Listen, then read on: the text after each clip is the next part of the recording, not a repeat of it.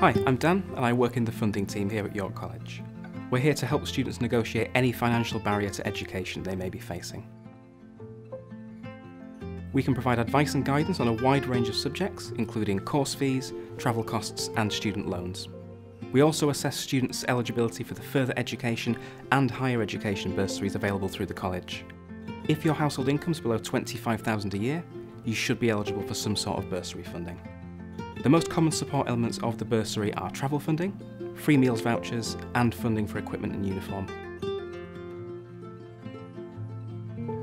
Whether you receive these will depend on your distance from college, your personal circumstances and the course you're studying. Further information is available on our website at yorkcollege.ac.uk bursary.